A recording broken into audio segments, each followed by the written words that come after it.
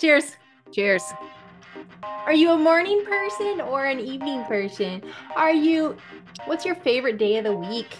Welcome to another conversation with the Apostate Sisters. I'm Patti, and I make this podcast with my sister Nancy, and we grew up in a doomsday cult called the Worldwide Church of God. We're also nerdy about history and culture, but critical of religion. So get ready to get mad or to nod your head in agreement as we embark on today's topic.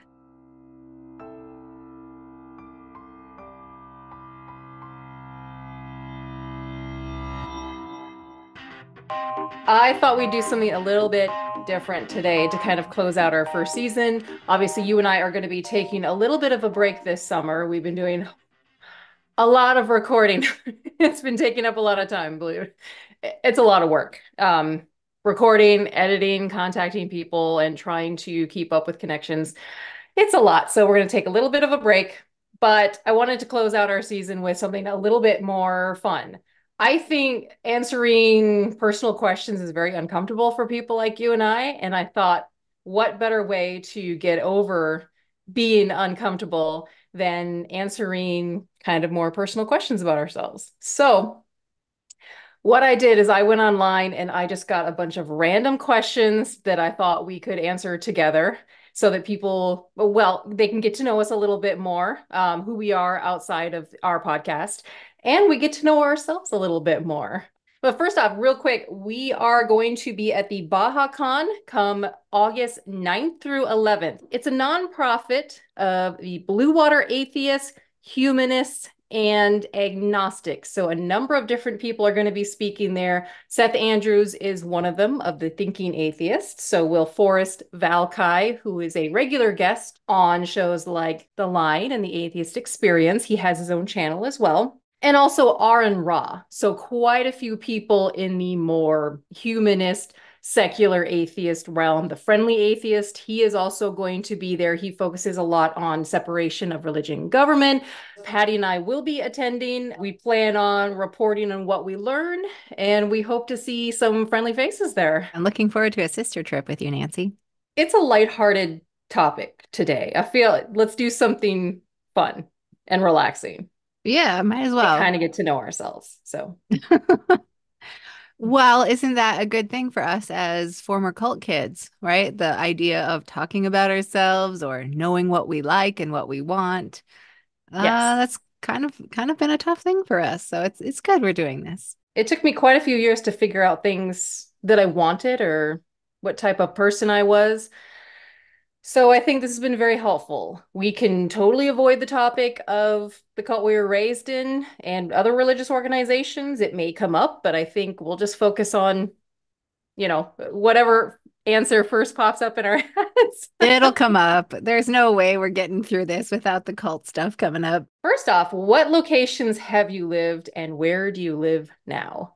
Patti, you and I have a few of the same on this list. We both grew up in San Jose, California during the tech boom. We were right in the heart of Silicon Valley. And then, how old were you when we moved away? Uh, I was 13. Okay. Mm-hmm.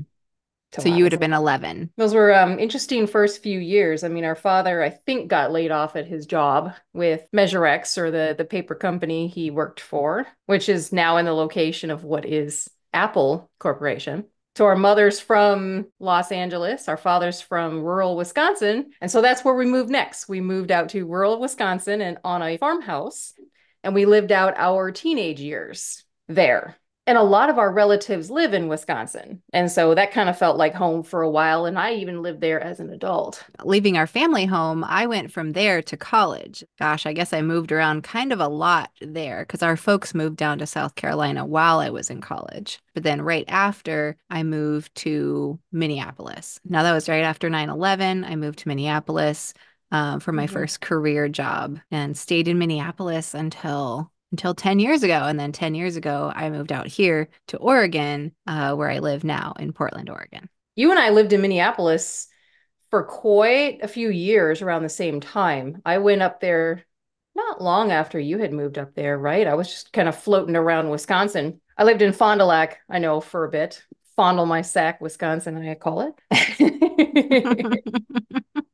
but yeah, I went up to Minneapolis. I started college and then I joined the military. So the whole of my military experience, all those 10 years, I lived in Minneapolis. I was mostly National Guard and then I was active for a few years. I deployed to Iraq, so I did live there for a year. I lived in Davenport, Iowa for a couple years. And so I was doing like a back and forth because I was stationed at the Rock Island Arsenal in Illinois. I was just right over the border from Illinois. And then uh, towards the end of my military career, I met Suman, now my husband, and we ended up moving down to Madison, where he lived at the time. He was commuting to go to college in Minneapolis, so he would only go up there on weekends. And then I ended up moving down to Madison. We opened an Indian restaurant together and had that open for a few years. And then right before COVID hit, we went to India, lived there for a year, not necessarily meaning to stay that long, but uh, the one month trip turned into one year due to COVID starting.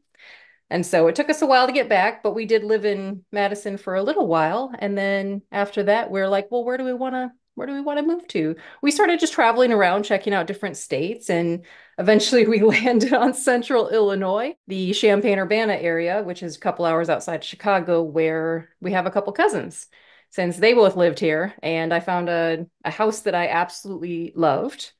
And so this is where I'm at. I don't necessarily say I live here, I just say that we own property and we tend to travel more often than anything. It's funny. I always thought after our time in Wisconsin, I thought I would end up in a rural living situation again. Like I really thought that was going to be what I wanted. But as I got older, I'm like, oh no, the city actually has all the things to do. So I'm a city girl now. Interesting because I am very much a rural girl. I mean, I like to be close to a city. I don't want to be more than like an hour or two away from an international airport. But living right in a city, no, nope, not for me. My dream home would be like a cabin in the woods next to a lake or something.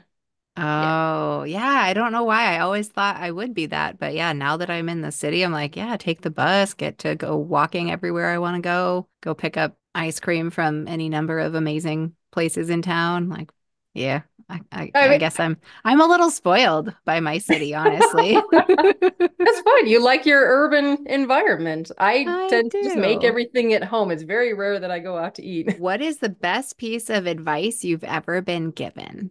Best piece of advice. Not that I necessarily listened to it, but there was a movie a while back that we saw when we were younger. It was called Now and Then. And Brendan Fraser's character he's like just getting back from the Vietnam War, right? And one of the girls that he meets, there's four of these girls, right?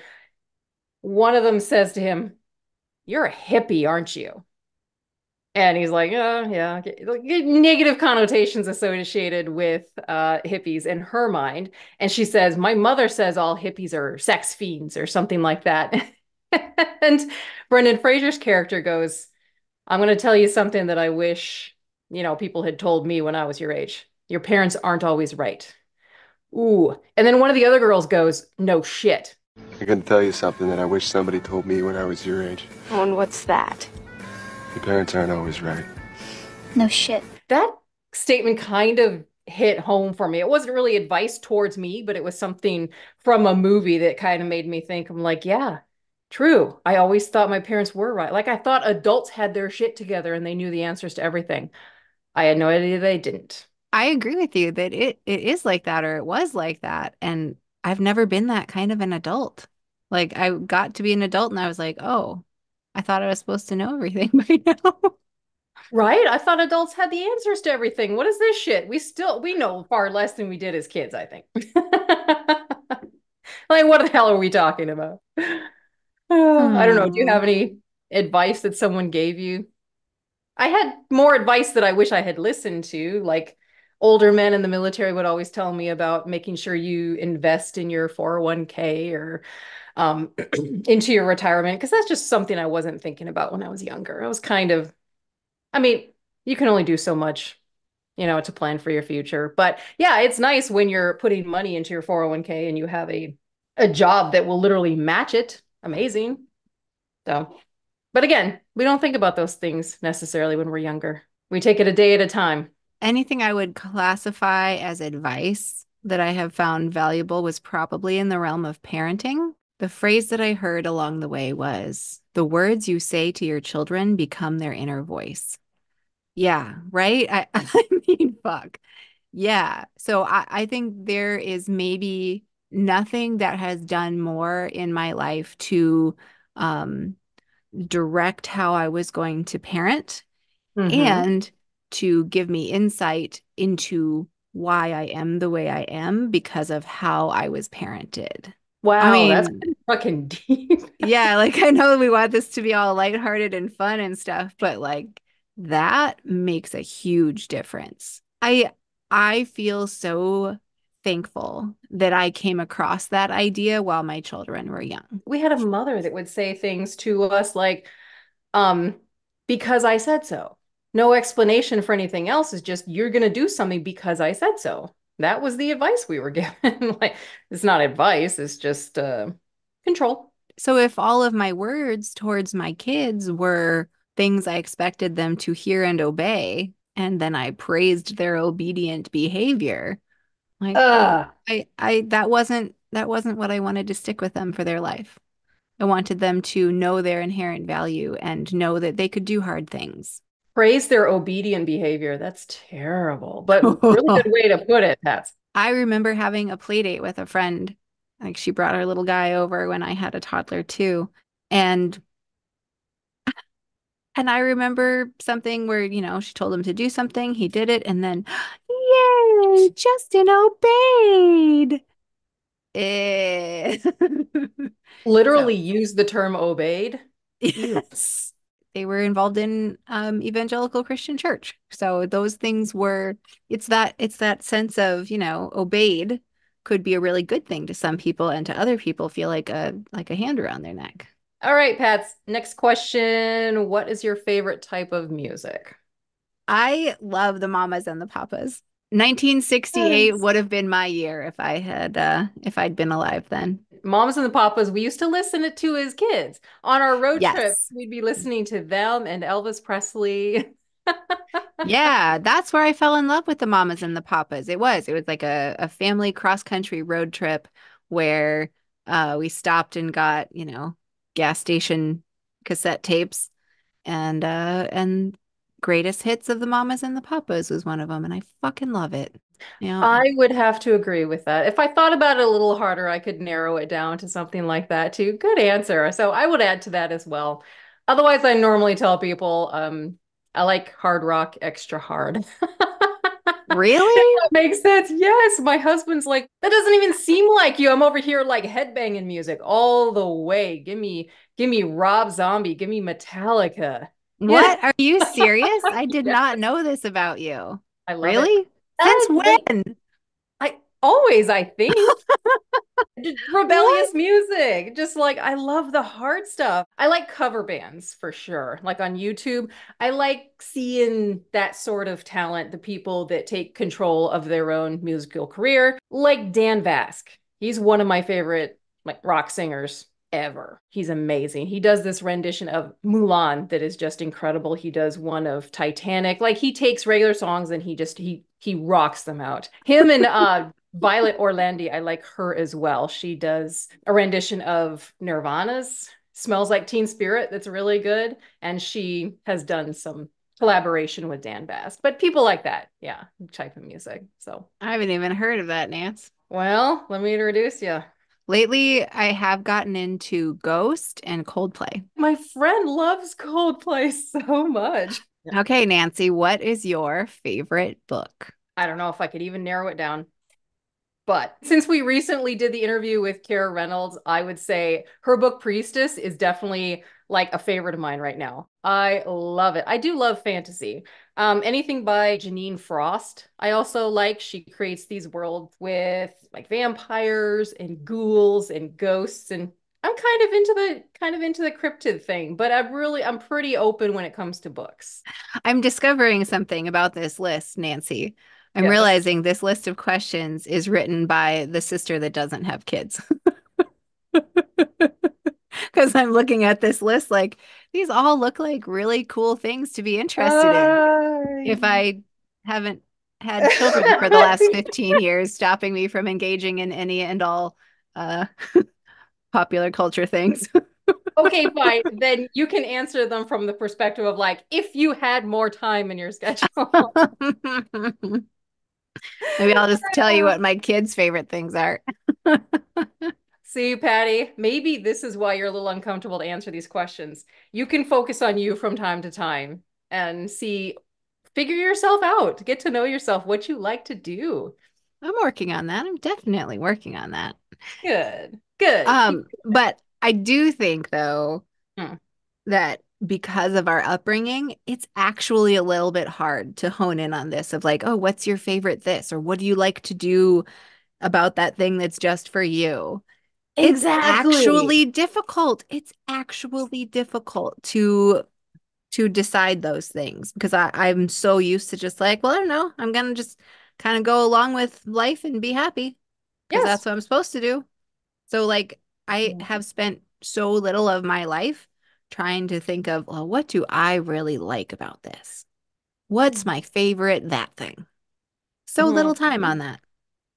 And I'm also just kind of like, I just love all the things. And so whatever comes my way that day, that's my favorite thing that day. Some of these questions are a little bit too generic for me, Pat. Like, like I like Yeah, questions that are very specific and like the odder the better. But Yeah. Great. oh, Right. what's your favorite book, by the way? I didn't ask you. You know, it's been a while, honestly, since I've been able to fully read a book, like a fiction book. I think COVID um, broke me a little bit, where I felt like I had to be totally present and like looking at the news constantly because I didn't want to like watch a movie or read a book and then like miss some big news. I mean, that's irrational, obviously, but that's kind of where I found myself.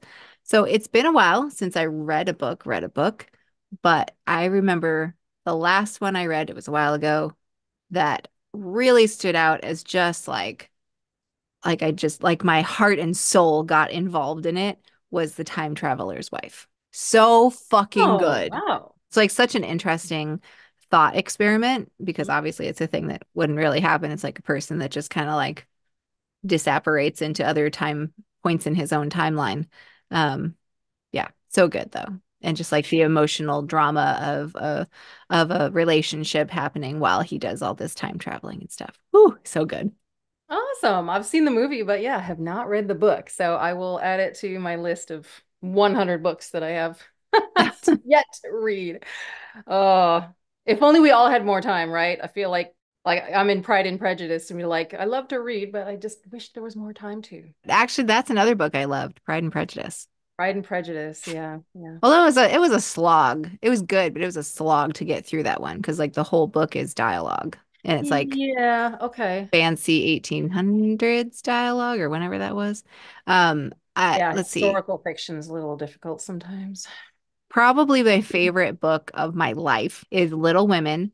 I read it twice in the sixth grade. Three years ago, I took a road trip to Montana with the kids and we played Little Women on audio. Still loved listening to that book.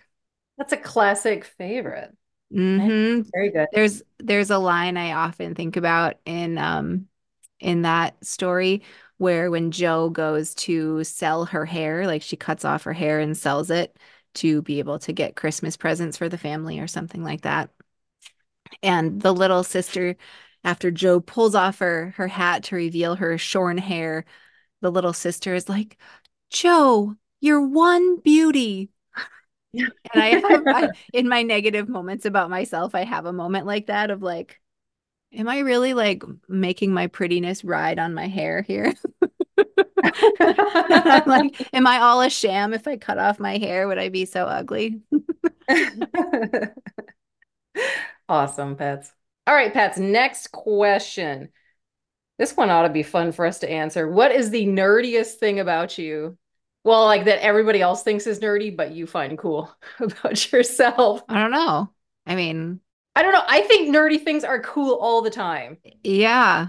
I mean, but the, the mainstream would think is totally nerdy. I love Star Trek Next Generation. Really? I mean, I watch it. I'm not like obsessed or I don't like own. What? Yeah. I I, I love that. Yeah, it's one of my favorite things. We pull out like late 80s, early 90s Star Trek Next Generation watch it. It's amazing. It's so bad. It's so bad it's good. I had no idea. Yeah. Yeah. I mean, I would watch Xena all the time, which, you know, total slapstick. It is very cheesy once you you watch it again, but in the 90s it was like it was the shit. All That's right. Total pop culture. But for a question like that, I'd probably go with my tardigrade themed bathroom. No one is cooler than me having a tardigrade themed bathroom. Who else does who does that? I've been on a little bit of a tardigrade kick lately. So I love tardigrades. They're the I best. I remember all these t-shirts talking about tardigrades and be like the world dominator and live tiny, die never, and they can live through boiling water and live in space and all this shit. They're amazing. Live, live tiny, die never. They're awesome. My husband says I like them because they look like they have a butthole on their face. I'm like, you're not wrong. I yeah, you know. Okay, well, all right. You you got my brain going with tardigrades.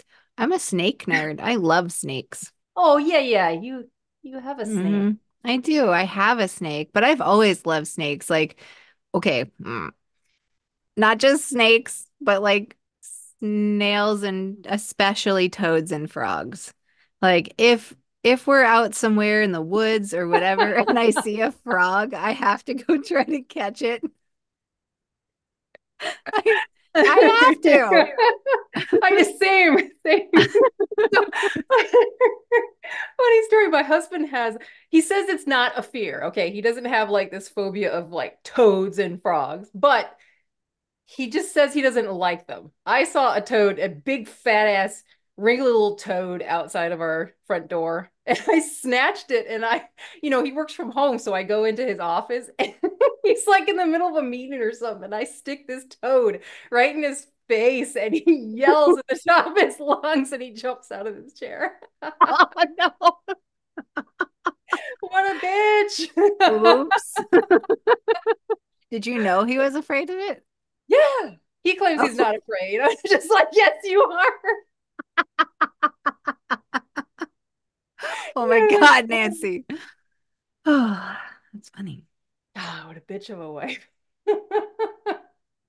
oh, Nah, you know how to keep things interesting. I got him. I got him. But he he tells me I'm weird because I'm afraid of spiders. I don't like spiders, and I will go and get him to kill that mofo as soon as I see one in our house. He's like, "What's wrong with you?" I'm like, "You don't like frogs and toads. What's wrong with you?" Right? but yeah. It really is all about the spiders. Spiders are bad. Yeah, I have no problem with snakes. I love snakes, rats, mice, whatever, but spiders, no.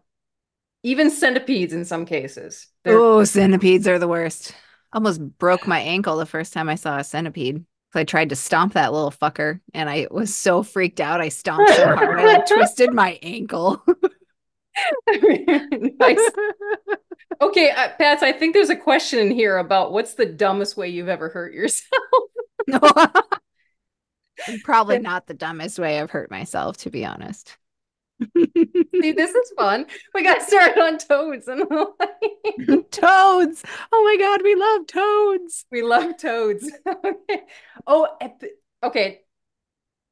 Still on the toad. Have you ever seen have you ever seen a tomato frog? They're amazing.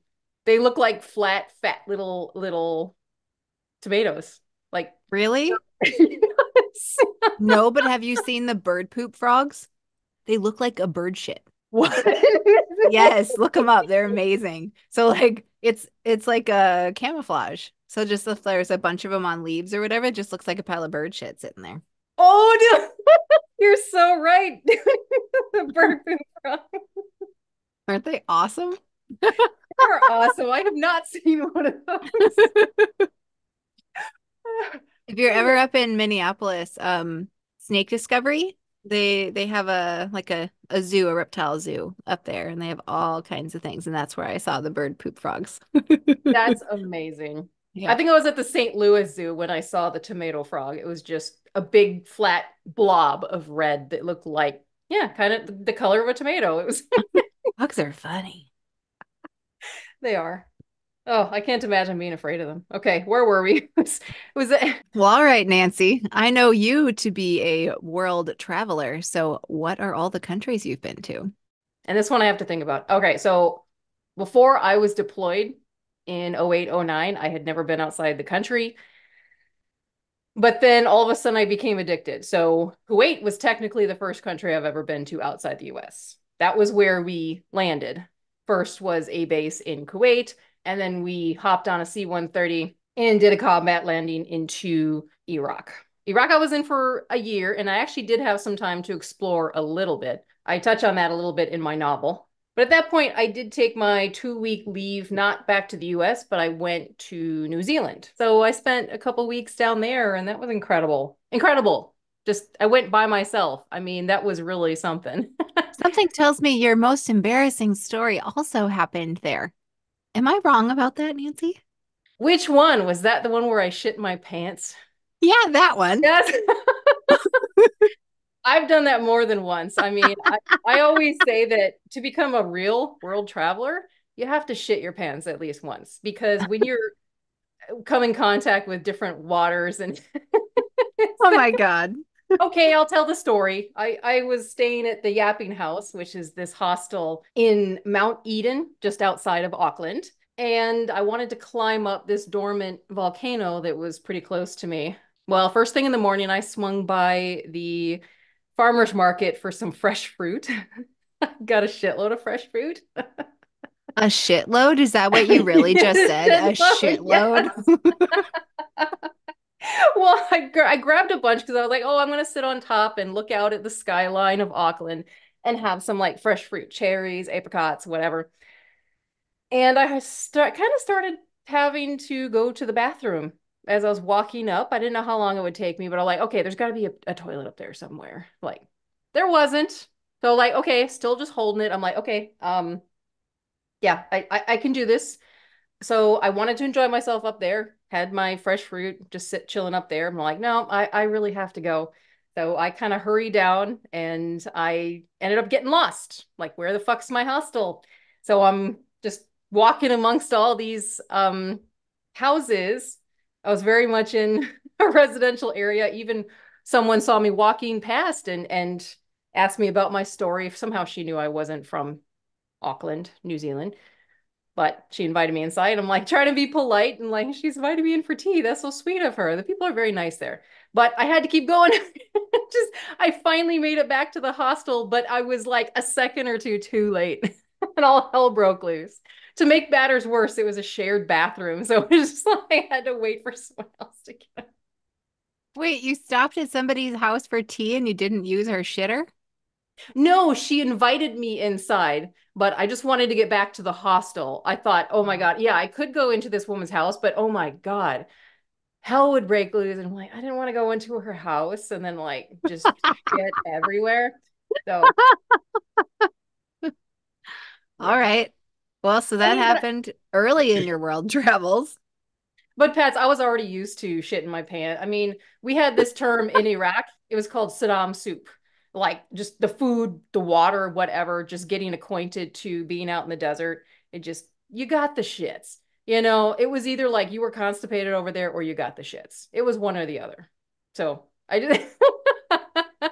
you said Saddam soup. Yes, I did. Okay, yeah. here's how I feel about that. it goes by different terms depending on where you're at. In Iraq, it's like Saddam soup. I think if you go down to Mexico, it's Montezuma's revenge. If you go to India, it's the Delhi belly. You're, you're bound to shit your pants at some point when you're traveling to other countries, drinking the different water, eating the different types of foods. That's pretty cool. So is that your advice to would-be world travelers is get ready. It's okay. You're going to shit your pants. Yeah, pretty okay. much. Just know where the bathrooms are. Know how to say where's the bathroom in different language. ¿Dónde está el baño? Por favor. rápido, rápido. Rápido. rápido. Necesito un baño, por favor, rápido. exactly. Yes. So tengo un problema. Okay, so I was in New Zealand after I got back from the war I just had this addiction to travel at that point. I'm like, oh my God, New Zealand was so amazing, despite shitting myself. All right. So I took a trip immediately with um, our friend, the Becker character from my novel, the, the real woman. We went to England for some time, Scotland, Ireland, Northern Ireland. Scotland was a very close second for me to New Zealand in terms of like, it's amazing. Like the Scottish Highlands, ooh, incredible. And also spent a few days in Cali, Colombia, because our cousin got married there. So been to Colombia, Jamaica. I've been to many times, just because that we have a friend that lives there in Montego Bay. So we've traveled around the whole island there. India, I've been to three times. Uh, the latest was for a year. Obviously, my husband's from there. My in laws live there, and a lot of our friends. Most recently, I went to, let's see, Istanbul, Turkey. That was an incredible trip. The thing that I found the most eye opening about that is it's kind of like plastic surgery central. Like people get hair transplants there, they get boob jobs, they get lip injections. Like Istanbul's known for that. I thought that was really, really interesting. So, did you notice that while you were there, the people of Istanbul all looked very plumped? Some, I don't know if they were actually locals or just visiting because it's also a huge spot for tourism. Part of Istanbul is in Europe, part of it is actually in Asia. So it, it's really kind of an interesting collection of different cultures there.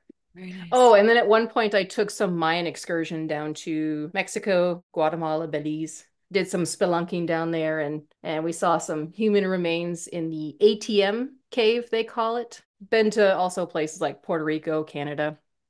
I'm sure I'm forgetting some, but um yeah, I try to get out to new countries whenever I can. I want to see more of Europe, more of South America. My husband's dying to go to um Antarctica. Whoa. I say let's go to Alaska first. We've been to probably most of the states in the US, but let's do that first. well, I definitely haven't traveled as much as you have, Nance. But let's see. That's I don't I don't think I traveled outside the US until I was 25. And uh, it was after I was married and I did a missions trip while oh. I was still, I know. It actually like was a, a stepping stone on deconstructing. I went down to Argentina as part of a missions trip with the church, the evangelical church I was a part of at the time. And it it was good. I enjoyed it because I got to be like right in the city. You know, it mm-hmm. wasn't like at some sort of resort or something. Like I actually got to be among people who live there. So I went there though as a part of a group from my church intending to work on a like do some construction at a Christian college down there in Buenos Aires. And um and it opened my eyes to a lot of like what the heck are we doing with missions work, you know? because when I was down there, it was it was great. But what we're doing is we were like just helping other Christians. So I was like, where's this like doing good in the world thing that I had convinced myself must be a part of Christianity somewhere. Uh-huh. Um, but what happened when I was down there is we went out to, you know, help the street kids, which meant they invited the street kids in to listen to a sermon for however long, an hour, and then they would feed them. So come get indoctrination before I give you crappy food of Uncrustables and like Cheez Its. And something, and, and this was on a trip where we were going out for steak and potatoes and flan and all the good things that Argentina had to offer. And like, I had a big moment about that. I had a big, like, I don't think this is doing good in the world. Mm-hmm. If you're mm-hmm. going to feed crap like that to street kids only after you make them listen to your goddamn sermon. Yeah. Yeah, that that put a little a little crack in my in my belief for sure. So it's like everything I did to try to like really be a good Christian, like go on a missions trip. And you always at being a good Christian, Pads. Good for you. I know, right? I was a shit one too. so I yeah, I mean I would love to do some more traveling.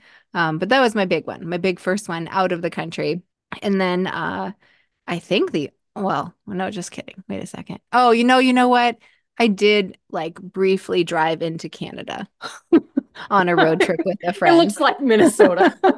it looks like well yeah i think i went up into canada through michigan and then just over to uh niagara falls so yeah, Yeah. pretty much yeah so technically i was in canada and then and then december 2019 i took the family to meet up with you in india and we were there for, for three weeks and came home the night that COVID was announced to the world. So we were just casually flying all over Southeast Asia while COVID was making its debut. So that's Yes. fun. Yeah, I don't think I've been to any other countries other than that. And that's that's okay. I fell in love with this world and I just I've always wanted to see more of it and more of its people. That's I've always had that bug. Well, you know what's weird though is I always thought I was a homebody. Well, I didn't like that kind of travel.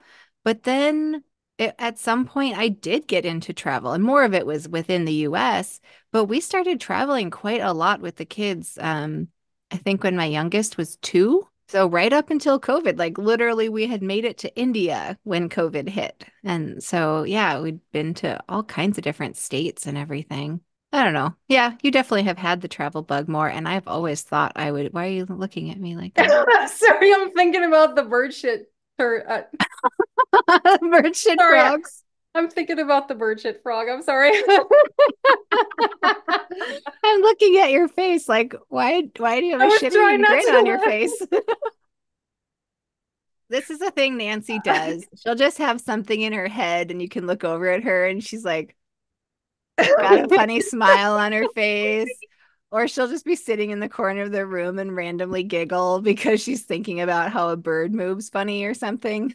Well, isn't it stupid that I should have been laughing out loud? I think for so much of my life, you know, I had to hold those feelings in. So constantly I, I would feel like I would need to laugh when I kept it in.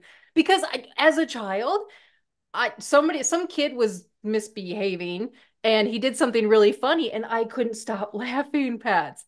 And I got in trouble for that. I got in trouble because I couldn't stop laughing. I thought the guy was funny. I'm like, what did I do wrong? The dude's fucking funny. Yeah, he did something he wasn't supposed to, and it doesn't mean it was any less funny.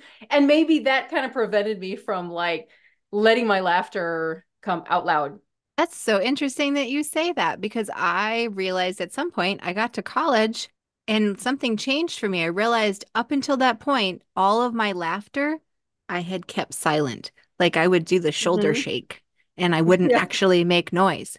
And then somewhere in college, I was like, what the heck? I don't know if it was conscious or what, but I start when I laugh and still now when I laugh, it's head back, mouth open, and I just let it rip because I life is too short to not laugh if you've got something to laugh about. I mean, I fuck. But I can't even tell you how many times I got in trouble for laughing. And I think that really deterred me from doing it as an adult. But now it's all No out. fun. You're not allowed to have fun. You're not allowed to have fucking fun. You have to Breaking obey. rules. Fuck off. All right. Whose turn is it? next question. All right, Pats, here's a fun question next. This is not the strangest thing you've ever had in your mouth. It's the strangest thing you've eaten. Oh my God. Uh, it's probably a good clarifying question. Because there's one thing you ate that I couldn't bring myself to eat. Do you remember what it was? Oh, I do, Nancy. I remember. We insisted. I don't even know how we decided to do this, but we decided to go to San Francisco and eat stinky tofu. And we found a place that had it, but it was on the secret menu. So we had to ask for the stinky tofu. Okay. I have got to explain how this all went down because, in theory, Literally. stinky tofu should be on your list of strangest things you've eaten, but you couldn't do it. Nope. Nope. It was so stinky. So we ordered it. We just got the plain one. We're like, we've never had this before. We're not going to get a flavor. It's fine. Let's clarify. It's fermented tofu. How bad Yeah. can it be, right? Here's why I was interested in it. My husband has a friend um, who grew up in Hong Kong, and he talks about stinky tofu in Hong Kong, where it was such a big deal because it's so smelly. You could sm- you could smell the vendor coming for blocks away, right? But like it made people excited. Like in Hong Kong, they'd be like, "Oh my gosh, I smell the stinky tofu! Everybody get ready! Here comes stinky tofu!" Right? Okay. Mm. So I knew this. I knew of stinky tofu. I knew it was definitely not a white people thing to appreciate. and so and so I was I wanted to try it. So we found that place with the secret menu. We got it on the table and I was like, "All right." And I ate a piece and I don't I think you got about to here and couldn't do it. I managed to get 3 pieces of stinky tofu in my mouth and down my gullet. Yep, Nancy, that exact face. So I was eating that stuff and watching your face as you couldn't even put a piece in your mouth. No. And then it was still sitting on the table and you just kept looking over at it with a disgusted look on your face and you couldn't you and so you pushed it to the far corner of the table. still wasn't enough. We put a napkin over it. That still wasn't enough. And so then eventually you were like, "Can you excuse me? Can you can you take this off the table?" and you kept eating it. I'm like, what's wrong with you? And I normally have no problem eating stuff that's like weird, but that was like the worst smelling dumpster I had ever smelled. And it was on our plate. It was bad. Mm, and I ate it. well, okay, so you didn't eat stinky tofu, but what what's the strangest thing you ate? yeah, I can't I can't take credit for that because yeah, it never made it in my mouth, but I will say I have eaten live termites before. So I I was on this excursion of like survival learning survival skills in the middle of the Mexican jungle. I was I was drunk at the time. We had some shots of tequila before we did that, but they were teaching us so like how do you how do you get termites? How do you find them? How do you eat them? You open up, you know, an old log and there they are. Lick your finger, grab a bunch, and then you just, you know, have at it. And let me tell you, they taste exactly like carrots, Paz, which was really funny. They taste like carrots. And they're still alive when you eat them, like wiggly. Yeah. Mhm. Can you feel them wiggling in your mouth? No, no. I just got a very strong taste of carrots. But that's not the worst thing I've ever had in my mouth. Okay, I should clarify. That's not the worst thing I've ever eaten. Okay. I I'm sorry. It's so bad. Okay, technically I didn't eat this either. It never made it down my gullet. I have a friend from Cambodia and she hooked me up with some balut. That is a fucking duck fetus. That is the duck eggs that have like an embryo where a partially developed duck is inside. You want to talk about going beyond my limits of comfort? Balut was it.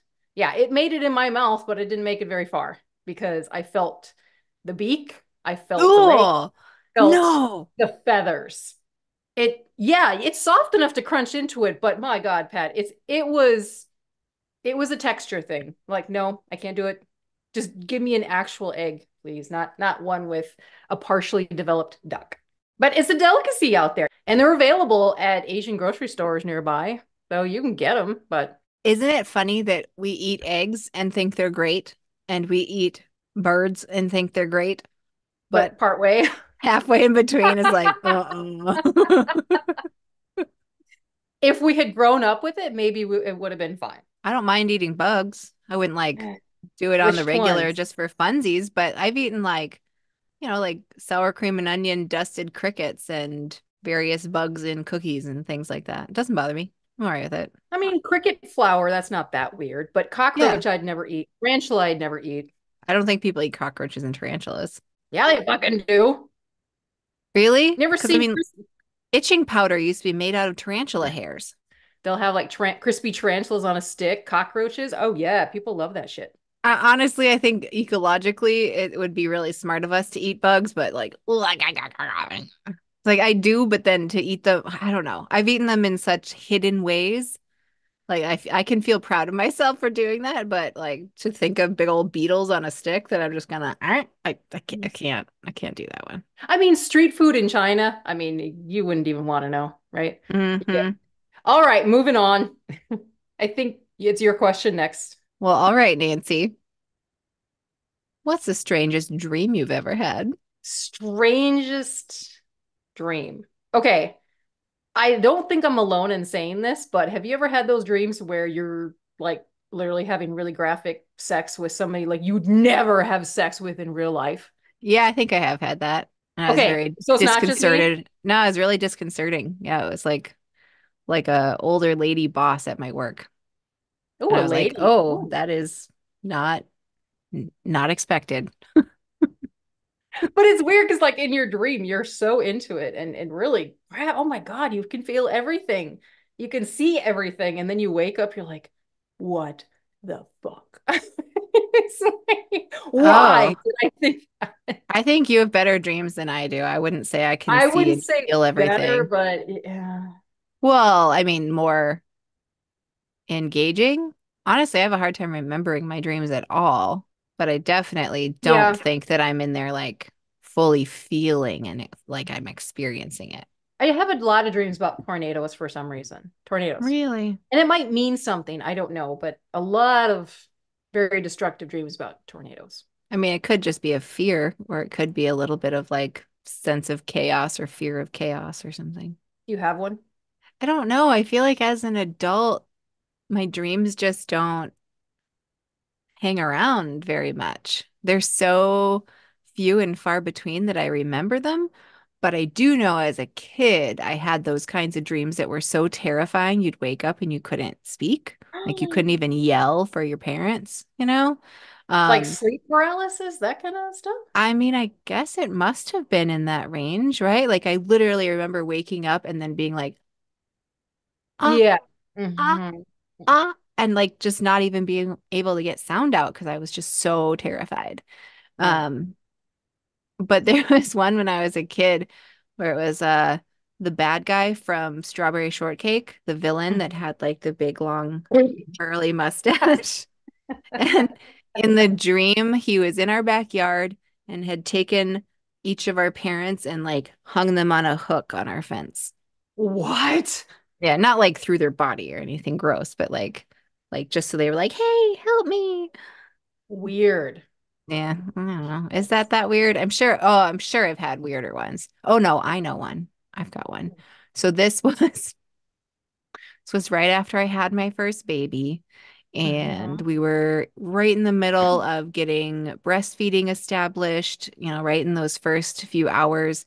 So I think it was the first night that my baby was around, and I had this dream that there was like a pile of babies next to me, just like a waist high, just a pile, just stacked up a pile of babies. And it was my job to get milk into all those babies.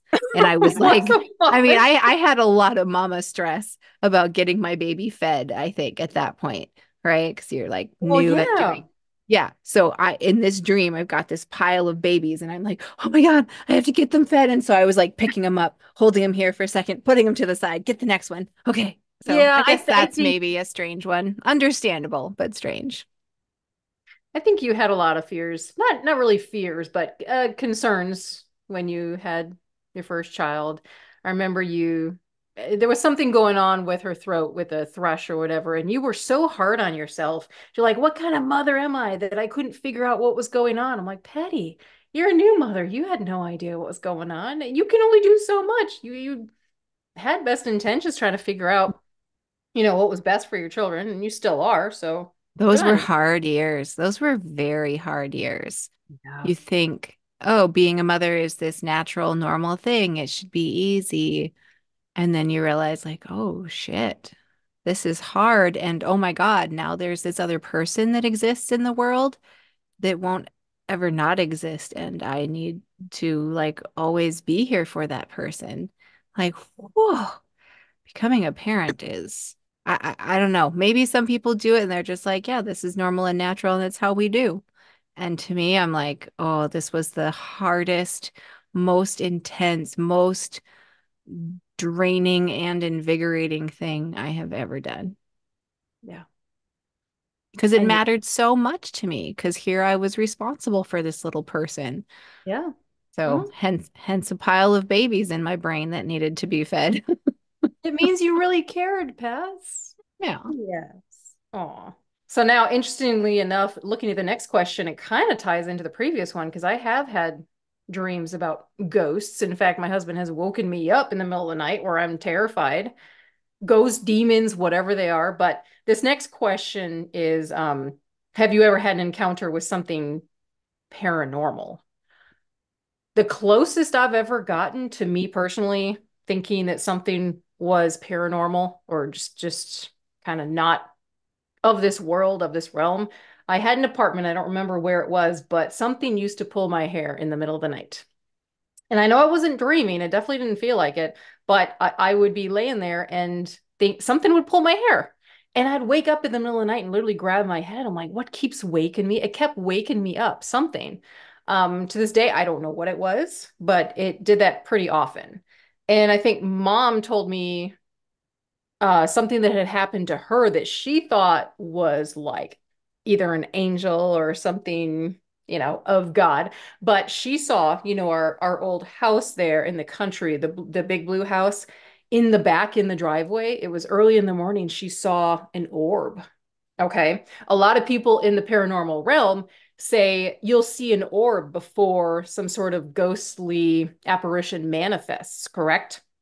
And she said this or this bright orb just kept moving slowly, like back and forth, and then it went zoom, gone. Well, that's I've never heard that. Do. She told me that story, but of course she equated it with something supernatural. I'm just like, that sounds like an alien to me or something. I don't know. But those are the only ones that I remember. And I, I believe mom when she says something like that, but I think her interpretation of it might have been wrong. Sure. I mean, my personal thinking is that anything paranormal would have a reasonable explanation. Right. Yes. But orbs are actually quite common. You know, hmm. a lot of people have recordings where there's an orb and then all of a sudden something manifests. I mean, you know, we, I watch a lot of like ghost type video. I don't know. Have you ever had anything that kind of made you question, like, well, what was that? You know, cupboards moving or anything? Well, I don't know that I have experienced anything that I would say is kind of like a ghost type thing. But when I was in the fourth grade, there was a Ouija board in the classroom that I was in. And the teacher apparently oh. didn't mind that a few of us kids were in the closet in the like coat room in the back mm-hmm. with the mm-hmm. Ouija board. Um, and so we were doing the Ouija board thing, and I swear it was like a question would be asked, and in my head, I would know the answer, and then I'd be like, oh my God, it's going to my answer. Now, I, I do think that's probably the ideomotor reflex, which is like tiny movements that we don't recognize are happening from us. Mm-hmm. Um, however, while we're doing the Ouija board, all of a sudden, the lights in that closet went out. Oh. And it was just poof, just off, both of them. And the mm-hmm. switch was still on. And we couldn't get it to go back on after that. I'm not saying it was something, but it sure was a moment that made me go, What? Next well, question. next question. All right, Nancy. What do you really hate the smell of? I'm sorry. I mean, doesn't everyone's brains automatically go to a fart, right? Just right away by instinct?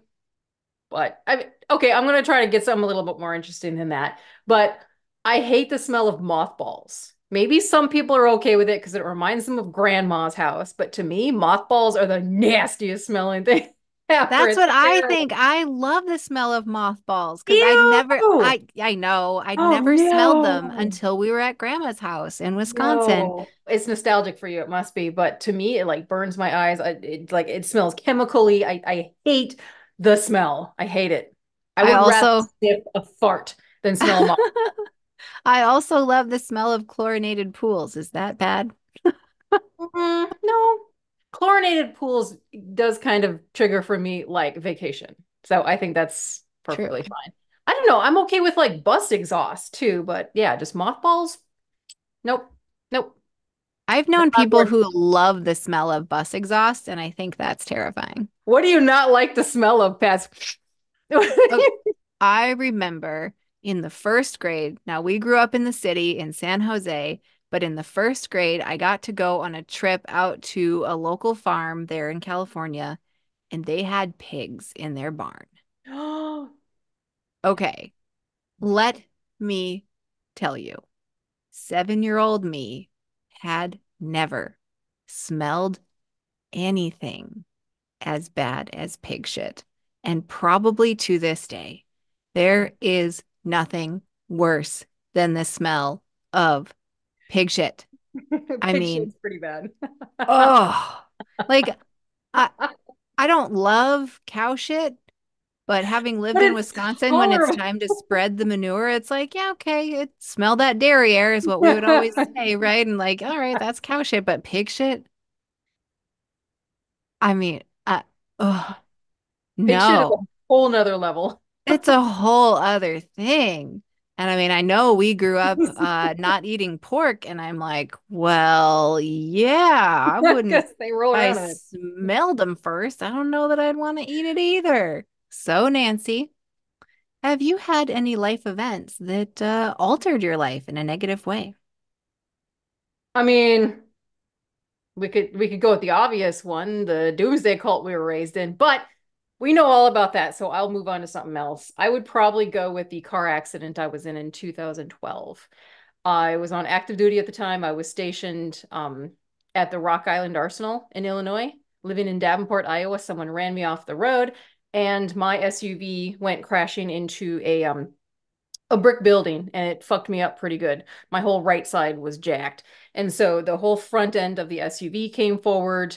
Um, I hit my head. Uh, my knee went back a little bit, so my hips went out of alignment. And only recently I found out that I had a couple ribs out of place too, and a chiropractor fixed it for me. So because of that incident, I happened to be on active duty military at the time. And so the VA has been taking care of me. I am on disability for that, but I had to get out of the military because of that incident. I could no longer I, I was going to do my 20 years. I was going to go to retirement and then get out, but I had to say medically retire early. So yeah, that that changed my life. Um, I'm grateful to the VA. They've always been good to me though. They've taken care of me. I know it's not always the case with, you know, military. Not always the case, but they've they've been good to me. But it, it was life altering for sure. It was a car accident that altered my life too. Um, only it wasn't it wasn't me. Uh, it was my daughter, my younger daughter, when she was seven, was hit by a car. And uh, thankfully, she is okay, um, like physically. But man, that event was like, it was like a meteorite hitting my family. That they still deal with. Yeah. Yeah, yeah, the emotional impact of that. It was like, you know, yes, she was okay, but the what ifs, uh, Well, okay. She's got a pretty gnarly, gnarly scar from that. It could have been worse. Yeah.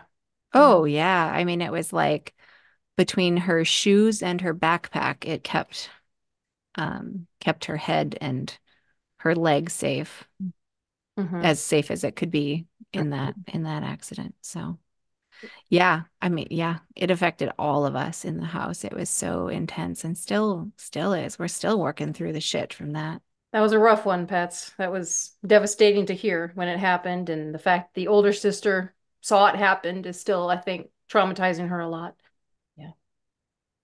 Just never know when these things come up. Yeah. So, Well, yeah, and, and but it's hard, right? Like this is these are the reasons we want to build our resilience and our understanding of trauma among all of us as people because you know, we, we you got to think about like all those people coming back from the world wars mhm. and if I know the impact on just my family from this one almost tragedy happening, like Mm. I cannot imagine the psyche of those thousands upon thousands of men returning from war after having seen all of that. Like Mm. that is probably a way bigger impact on our country and who we are um, as as Americans together with each other, trying to do life and understand each other. Mhm.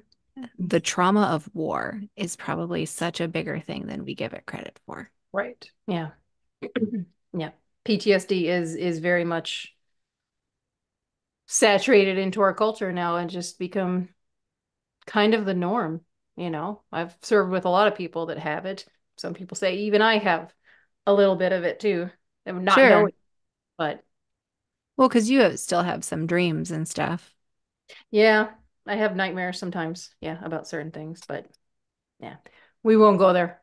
The next is what what is um a TV show that you really like to watch, or you could broaden that to maybe a YouTube channel or a podcast or something. Yeah, I don't know that I really sit down and watch any TV because I don't have time for that.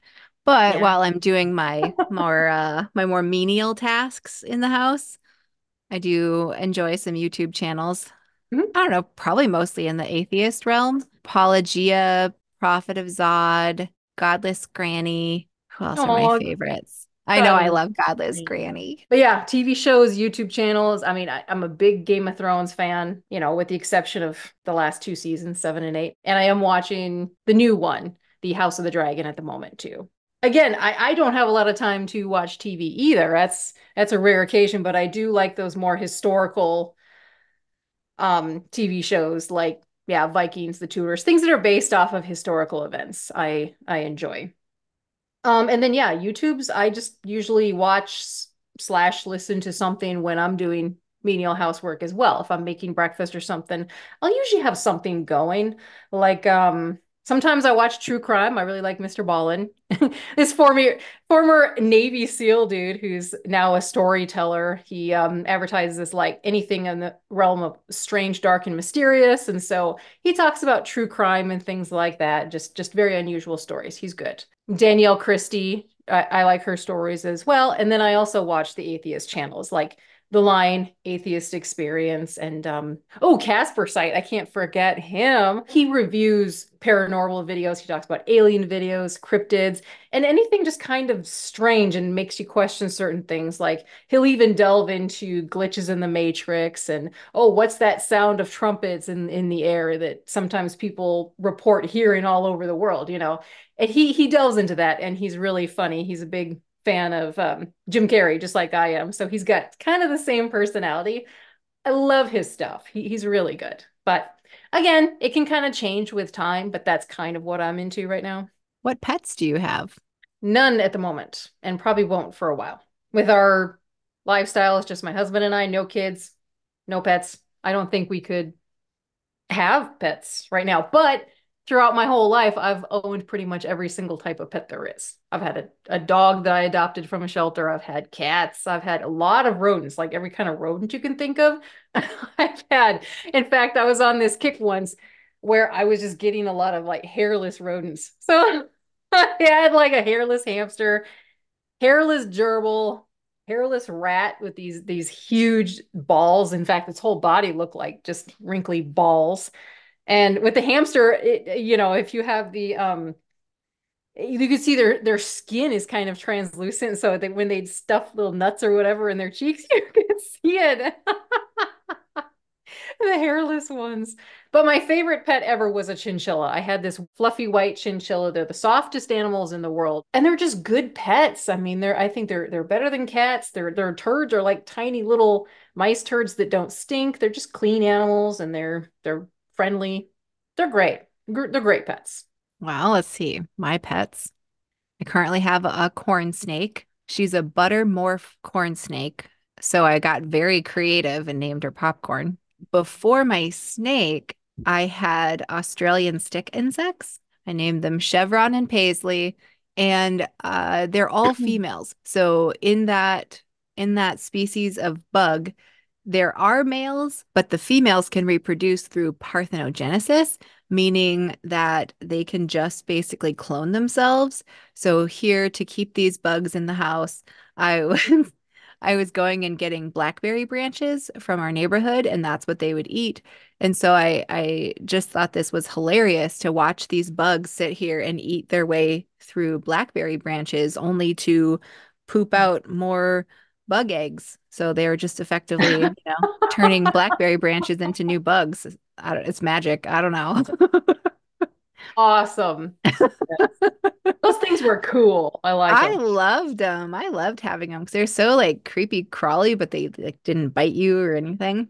We also have a hedgehog in the house right now. This little fat guy. A little fat guy. All right, Nancy. When you were a kid, what did you think you would want to do when you grew up? Yep, that one is like the most generic question we all got asked it ki as kids, wasn't it? And uh, I think the answer I always went to was an actress. I wanted to be in like movies, commercials, TV. And I think maybe I was just programmed because I grew up in California.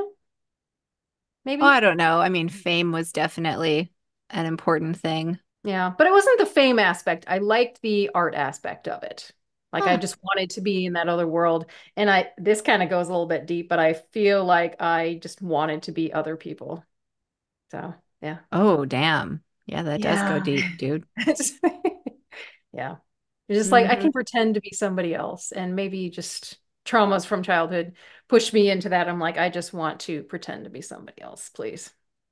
So I never actually pursued it, but because I probably would have had we stayed in California, but we didn't. You know, rural Wisconsin is not exactly a happening place for, you know, auditions. I mean, also growing up with the television, it's like we just prioritize the things that were on the TV. Well, what about you, Pats? What did you want to be when you grew up? Probably a lot of different things, but the one that stands out was about eight years old. I really wanted to be a fashion designer. I remember that you used to draw all your little sticks of, of women in dresses and all that. Yeah, you really you were into it quite a while. Well, especially when I was sitting in church for the interminable services on Saturday mornings. I remember sitting there and drawing clothing that I was kind of like, I hope nobody looks you- over here. Because I think I was drawing things that were just like ever so slightly racy. You know, like I remember a pair of pants. Now, again, this was the 80s. I remember designing a pair of pants that the entire side of the leg was open and it was just bows across. Hot. Mm. Yeah, I know, right? I definitely want to be a fashion designer. And then at some point, there was a, a youth group uh, career day or something like that. And I actually remember talking to a woman who was an interior designer. And that is what I became. Yep, that's what you went to college for. Yeah. Although my earliest job choice was ballerina. I didn't know that. Mhm. I think I Oh. was four. They ask us what we want to be when we grow up when we don't know anything about the world yet. It's so set your career in place now, children, before you even know anything about yourself. So this is an interesting question, the next one. What's on your phone wallpaper? I have a white calla lily on mine. I just looked and I have some sort of purplish swirly thing. Cool. All right, world traveler Nancy. What's a very random word that you know in another language? Nandri. It means thank you in Tamil, which is primarily spoken in South India. Tamil Nadu. And you? I know you're pretty good at Spanish. Sí, yo hablo un poquito de español, pero mi palabra favorita, palabra favorito, sí, mi palabra favorito es mantequilla de cacahuete. Awesome. Thanks for sharing. Uh, we're going to Mexico again pretty soon. Why don't you come with us and translate? I don't think I can do that. Six years of Spanish in school, and I, No, but give it a few months down there and you'd pick back up on it real quick. Oh, for sure. I even get really good at it when I pick up Duolingo for a while. Next question. What place has always felt like home to you? I guess the old house that grandma lived in. I was going to say the exact same thing. Yes. I mean, it was our home for a little while. We stayed with her when we moved from California to Wisconsin for a while. I don't Mm. know. And and it smelled like mothballs. It always made me like it. Ew, no.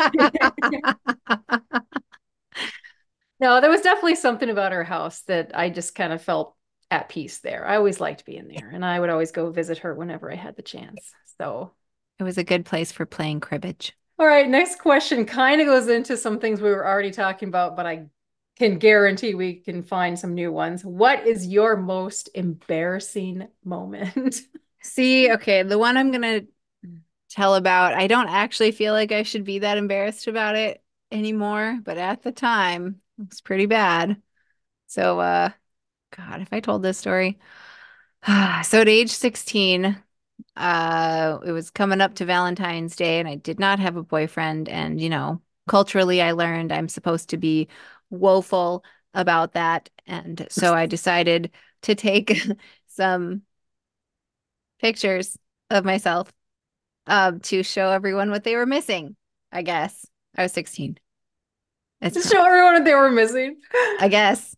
So I uh, was very stupid and had one of the pictures at school because You were proud of it. That's fine. I, I was. Apparently, I'm an exhibitionist. Um, so yeah, I mean, I was wearing things, but not a lot. Uh, so I had this at school, and throughout the day, I had my locker open, and someone, without me noticing, took the picture, or it fell out, or something. Oh gosh. Um, yep.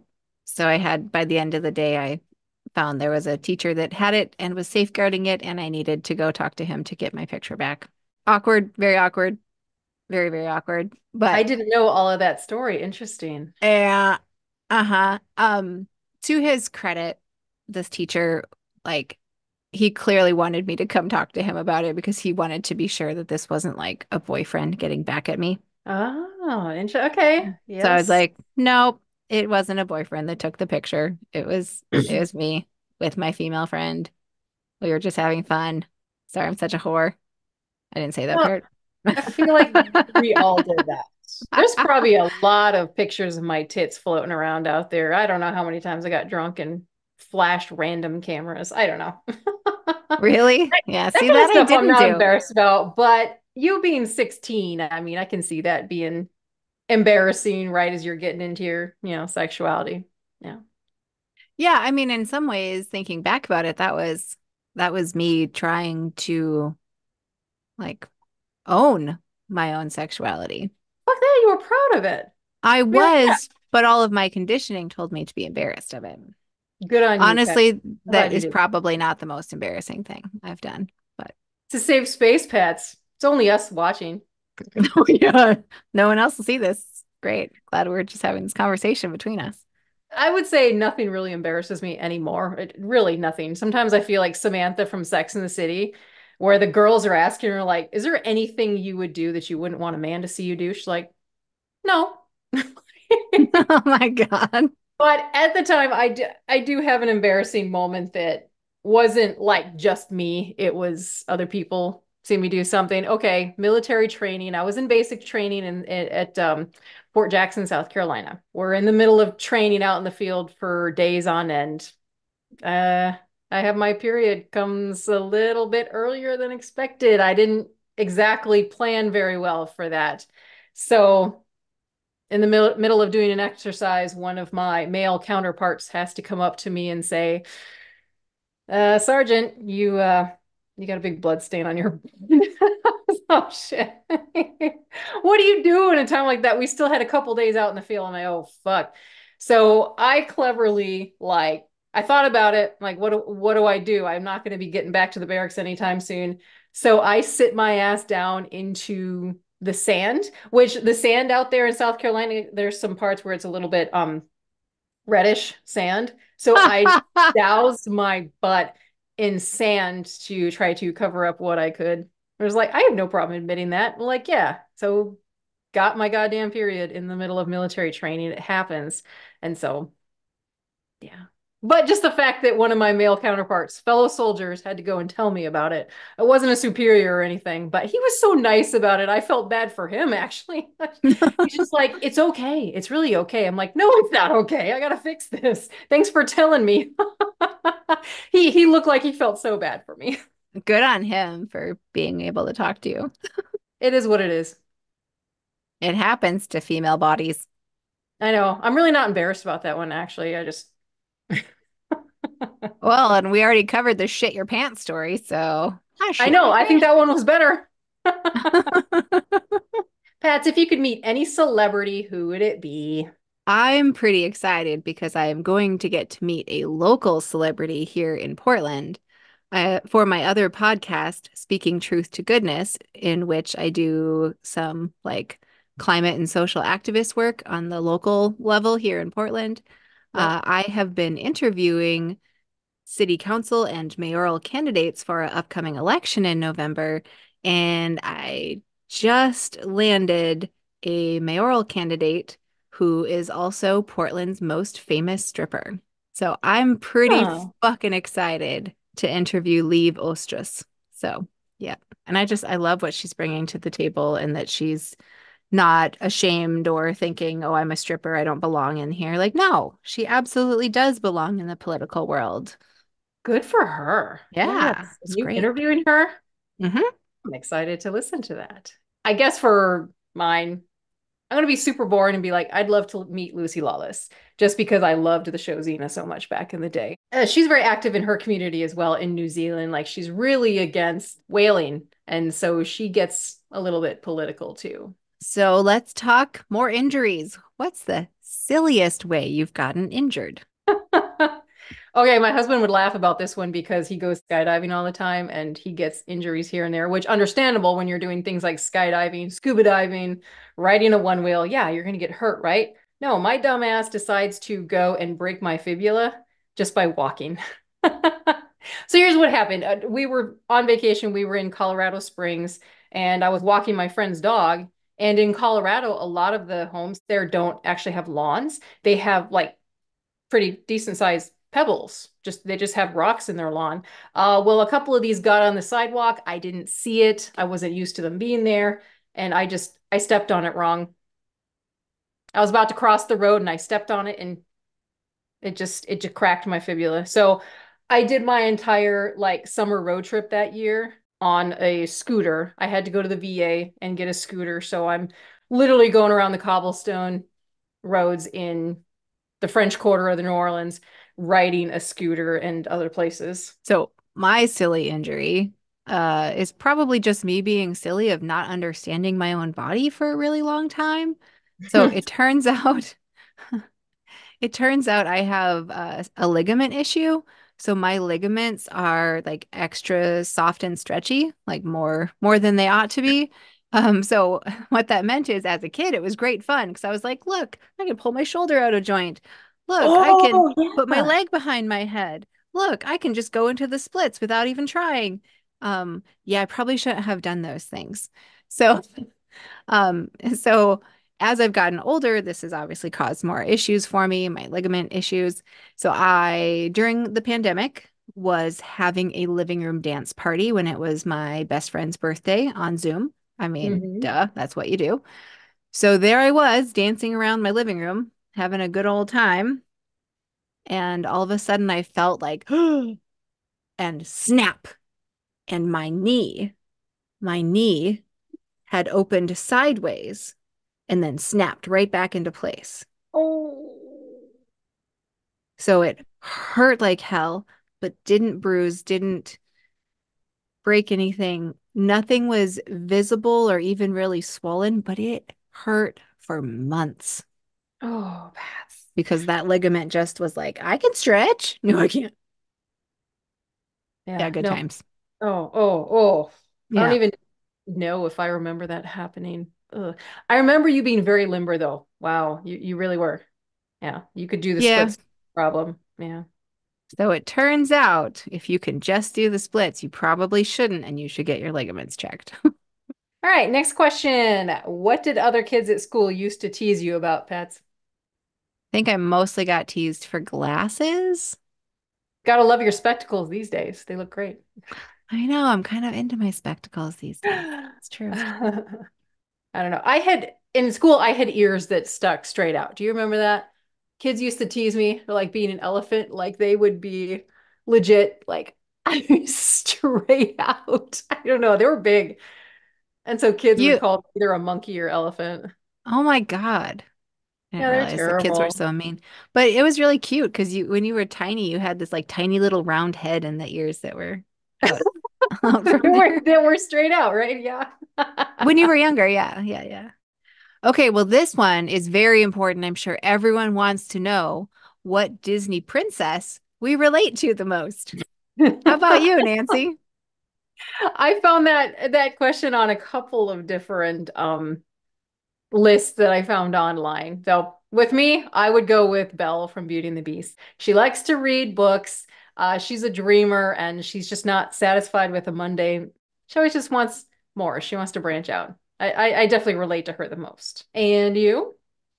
Probably Ariel. Yeah. Everything from look at this stuff to part of your world. I like looking at stuff, you know, like I love going to like vintage shops, antique stores. Um, and then, you know, part of your world, like there she was in the in the sea, trapped by the ocean and had no legs. and uh wished wished she could go beyond land. And I think that's a little bit how I felt um in the Worldwide Church of God. And I just I just wanted to go be among the people. wow, that's fucking deep, Pat. I know. Where's my land, they understand. Bet they don't reprimand their daughters. All right, Pats. Um, I know you're not as much into alcohol as I am, but what is your favorite alcoholic drink? Do I really have to pick a favorite alcoholic? Okay. All right. I can. I can. I can. All the above? If I had to pick one, it would be gin and tonic. Oh, hey, I drink that a lot too. Okay. Yeah. Yeah. I can handle an occasional gin and tonic, but not much else, to be honest. I find that gin and tonics are those drinks where I could drink it all night long and not wake up with a hangover. So I'm totally on board with that. Yeah. Nice. Light ice, But- extra long. But you're you're not wrong. Alcohol is not not usually my jam. I usually uh find Yeah. myself elsewhere. Yeah. And I'm not mine. into I know. Yeah. I, which is but weird. also, are you in a legal state? I'm in a legal state. yeah, Illinois is a legal state. Yes. All Yeah, right. you name it, I probably drink it, Pats. I'm a big fan of like any good heaty red wine like uh, Cabernet or Grenache. Um, I think when Suman and I travel, we like to go to um, like the local distilleries and breweries, kind of try all the local liquors and, and craft beers. So we, we love Kentucky bourbon. We go down to Kentucky quite a bit and we just like to experiment with the bourbon. So I definitely am not a big fan of scotch. That's not. I think I like that little bit of sweetness in bourbon a lot better. Um, I especially don't like the smokiness in scotch. Just not really. That's not my favorite, but I'll drink it if that's the only thing available. Mm. So, um, I, I tend the- to I tend to appreciate that my chosen substance doesn't doesn't cause hangovers. so so I get the occasional like wine headache, but it's not bad. Ooh, yeah, I can't do wine at all anymore. That actually does make me a little sad. There was a time I was not a wine snob, but I did enjoy wine, like while cooking or with my dinner, and I I can't anymore. Makes mm. me get feeling yucky right away. Yeah. No, I, I that I get. I was actually going to train to be a sommelier, and I just never pursued that anymore. Okay, Nancy, how about this? What was either the weirdest or best gift you've ever been given? I'm gonna say weirdest gift I ever gotten, a Bible. Like it came from somebody that knew I would just not be into it. So that was kind of like, I don't know, a rude gift in a way. Like, yeah, you're a sinner in need of a savior. Here you go. Like, yeah, I don't want your fucking Bible. And if I want one, I know where to get it. I don't know. That one was just kind of weird. I'm like, I didn't think that was a gift at all. I think that was more of an insult.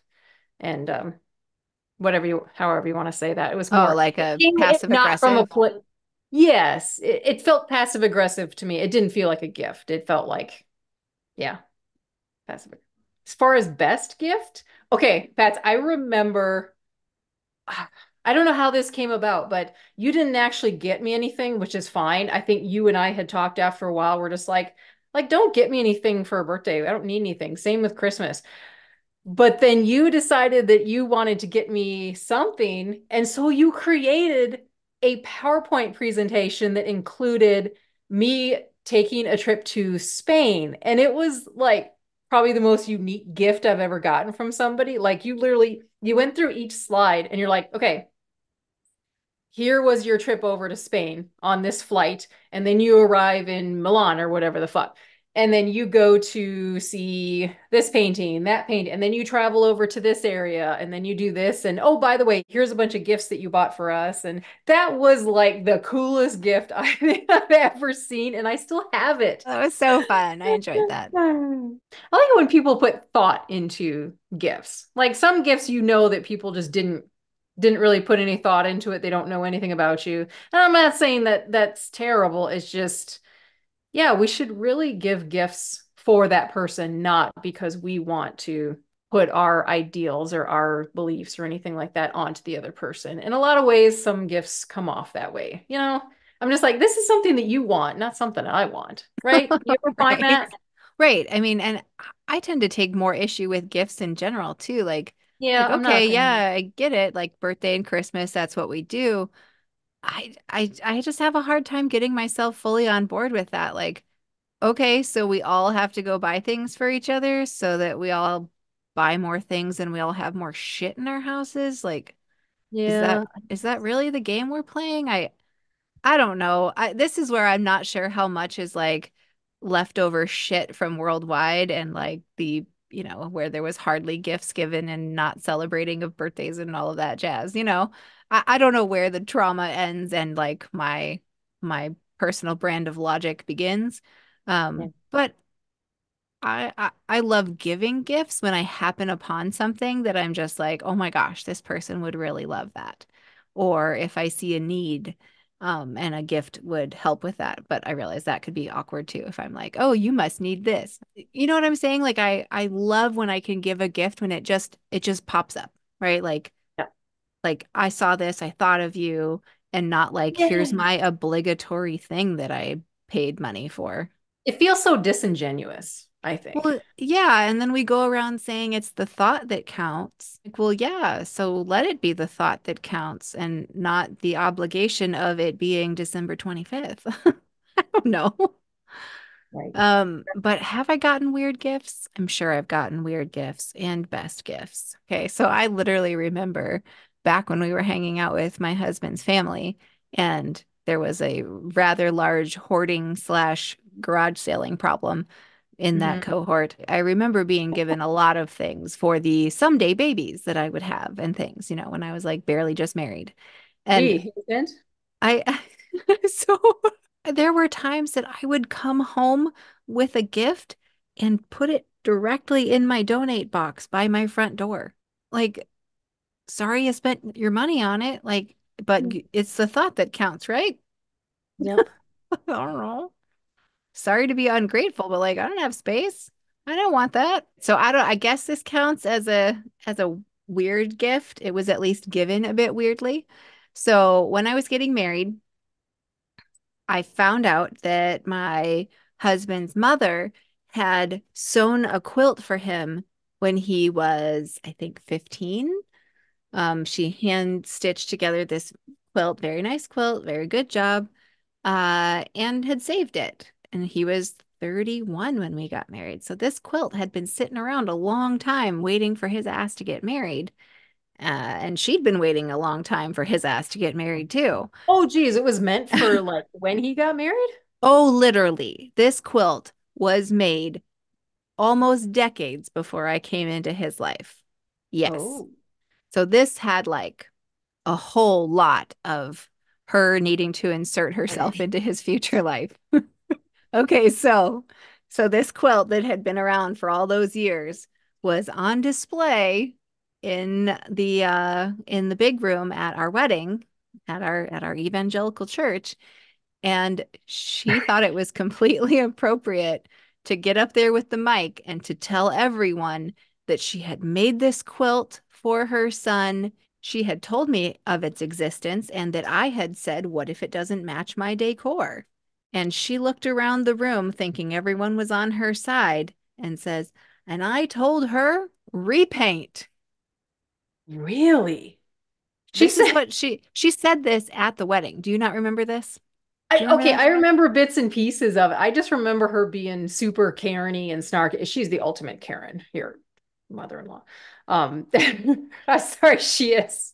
Wow. I didn't I didn't realize she had gone to that level. I just remember her being snarky about it. Uh, it, it it was her whole like mother of the mother of the groom speech in which she said that. And it blows my mind that she didn't catch at all the idea that maybe that looks like you're inserting yourself in your adult son's life too much. Well, that's one of many instances. Yes. Yeah, she was very thrilled about having made a blanket that would be on our on our marital bed. Cut the umbilical cord for fuck's sakes. Right? Exactly. What's up? Uh, so Uh, first of all, ew on that story.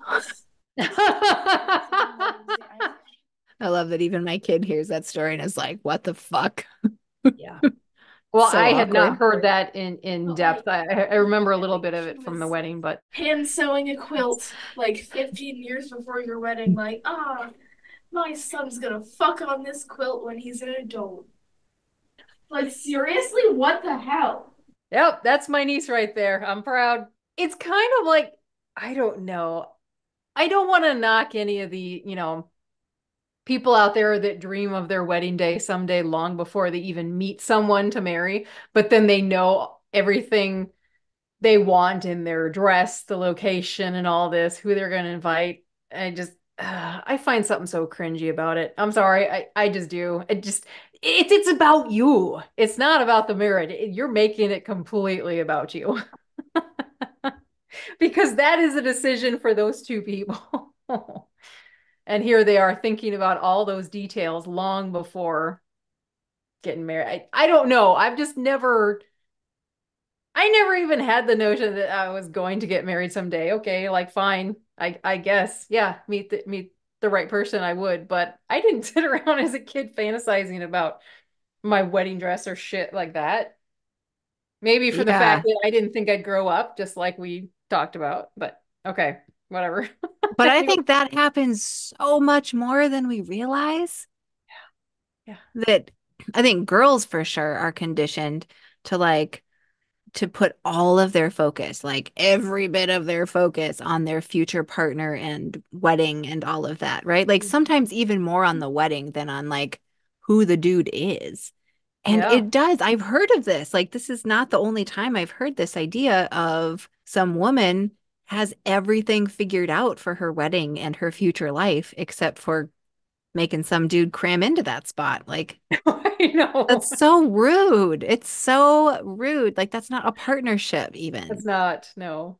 It's a, it's about themselves. It's all about themselves. Yes. Right. It's like you've written your own little story and you're and you're just trying to like be the character in this story that you've written instead of, you know, actually living your life. All right, Nancy. I think I know what you're gonna say, but what is your favorite comedian? George Carlin all the way. He's not even really like a comedian. He's more of a philosopher. George Carlin, we shall never see his like again. I'm going to go a little more recent than George Carlin. I cannot get enough of Bo Burnham. He is absolutely my favorite comedian. He's like musician slash comedian. He's very young. I think I know Yeah. who that is. Bo yeah, so he he started on YouTube when he was like 14 years old, right at the very start of YouTube because he's just in his Mhm. early 30s now. And Yep. he got famous from that because he is just amazing with his words, like his wordplay and puns that he can work in, and things are just like dark and relevant. so I have appreciated his work so much, like all of it throughout all the years. But during the pandemic, he did a Netflix special called Inside, and it was kind of like dealing with all the dark themes of depression and being inside during the pandemic and all of that. And oh my God, it was so good. All right, Pat, do you have a favorite conspiracy theory? Not necessarily one that you believe, but just one that you find the most interesting. I I generally love conspiracy theories actually. Like Mhm. especially ones that are a little bit historically based. So things like about the Egyptian pyramids, I find so interesting. Um, even just the history of it, but all the conspiracies that have sprung up around like what the pyramids were used for and the Yeah. things talking about what they did to actually build it, to get those blocks to move and everything. Um, yeah, like the idea that they had some sort of advanced technology or something, or that the pyramids were used as batteries. I find all of that super fascinating. I'm right in the same realm, actually. I would take it a step further, though, into alien and UFO territory. Not necessarily ancient aliens, but I think that um, if other life exists out there in the form of aliens and UFO spaceships, all that type of shit, Roswell cover-ups and and that sort of stuff, I think it is definitely time for our government to let us know about it. NASA keeps saying no, they're they're they're not out there. Our parts of our government keep saying, yeah, there's some UAPs or whatever the fuck they're calling it now, phenomenon out there that we just simply don't know what it is. It might be, you know, testing technology we're we're not aware of yet. But yeah, I, I like all the alien conspiracy theories. It, it's fun to think about what countries might be covering up. Other countries have come out and said, yes, there are aliens that exist. And I think we're getting more and more stories coming out just because out of all the conspiracy theories, this one seems the most plausible to me. Yeah. I think that's true. I mean, I do think even scientific folks, I say this yesterday? I said this yesterday. I think even people who work in like astrophysics and things like that will say that the chances that there is other intelligent life out there is a pretty high chance. Like almost not possible that there wouldn't be some other intelligent life out there just because of how we see life develop and it like follows the patterns it follows literally because of like the molecular connections of atoms and stuff. So it's like these things would happen elsewhere too. What are three things that you're like currently super grateful for in your life? Well, maybe it's kind of generic, but I'll say my health. And here's why. I could just be thankful for that in general because I have been a rather healthy person over my life. But mm-hmm. about five years ago, note the ligament issue I mentioned earlier. About five years ago, all of that kind of came to a head when my neck had huge problems. And I found myself in so much pain and being so nearly debilitated that like I was telling my family I thought I was gonna have to have like a wheelchair or something. Like I, I mean I was I was just not doing well. It was it was bad. So I am thankful for the human body that has the ability to regenerate and um you know that my joints could find a new pattern and break through some of the the scarring that was in there and be able to um, not be in pain all the time anymore and have a lot less of those issues. So I am thankful for this human body and my health. Mm-hmm. Um, I am also thankful that we have had a global pandemic and are through it in theory now. Yeah. Um, uh, and here's why it's because uh, my early childhood was all about doomsday, right? We were thinking doomsday is going to start. And every time something big and bad would happen in the news, our parents would be like, well, three and a half years now, thinking that, you know, this was the final stretch before Jesus came to get us. And I'm pretty sure that if there was ever going to be something that would be a sure sign of the kickoff of the end of the world, a global pandemic, you know, would that's one of the four horsemen pretty much would be a pretty good one. And so I I didn't believe that we were in the end times when the pandemic hit, but I think it definitely like brought up a bunch of my shit about it and I went into a lot of like protective mode and stuff. And so the fact that that happened and it's done and the world didn't end mm-hmm. kind of makes me think, well, I guess we're good now, you know? And so it was a little bit of a a release. So I'm grateful for the freedom from the bullshit doomsday idea that I was raised with. And the third thing, I am just so grateful for the most supportive husband a woman could ask for. Oh, yes. He's wonderful, Pats. You did well. Yeah, you just never know how things could have turned out. Well, yeah. I mean, I think so many women end up marrying men who are mean to them or controlling or take them for granted. And I've just been really lucky about that. And and I just feel supported and like he wants me to be my best self. I know it's hard to think uh, sometimes how things could have turned out, the things that we do take for granted. Yeah. Mm-hmm. I mean, mm-hmm. I'm with you on that. I, I was going to say health first as well. Yeah. I think we all take our health for granted sometimes. You know, we come from a family where we really don't have any health issues.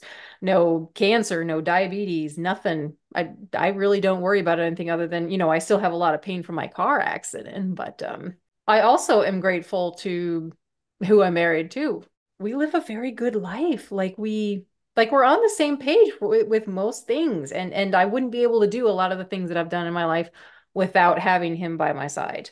You know, like it just we love to travel together and, and I don't know. I don't have any really major complaints in life, I guess. Um, I'm grateful for that. I, I have room to have clarity in my head from after, you know, I'm I'm grateful we escaped Armstrongism, Pats.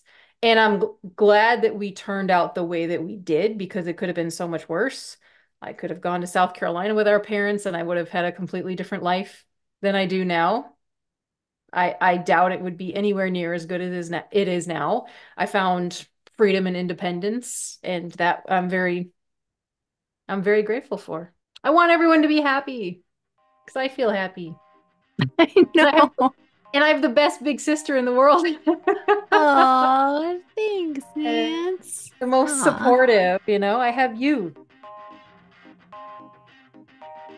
Who's it gonna go to? oh. Well, thanks for joining us for this slightly different episode of the Apostate Sisters.